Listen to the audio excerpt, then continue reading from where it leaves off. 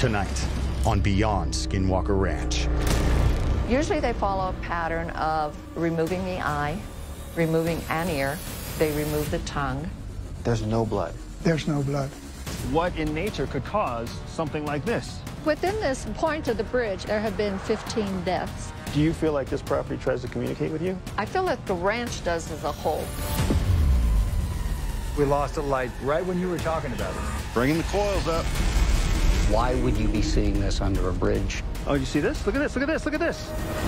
What is that? What is going on there?